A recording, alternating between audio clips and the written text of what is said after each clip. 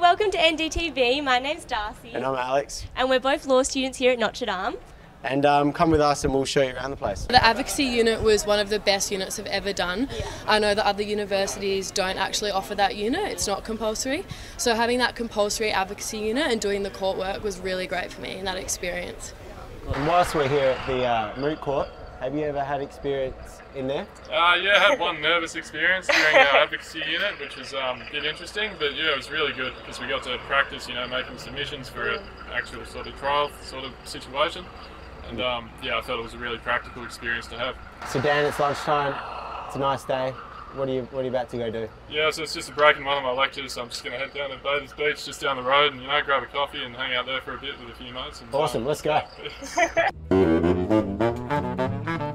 Thank